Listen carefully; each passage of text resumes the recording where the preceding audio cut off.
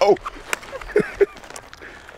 Remember, the 10th of October in Vivo Stadium, a great American football tournament is going on there. Remember to get there in time. Listen to my colleague.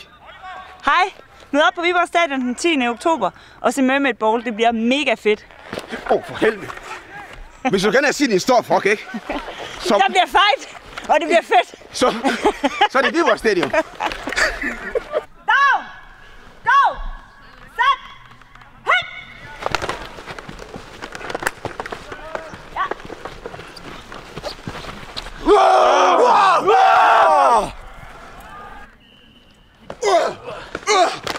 yeah!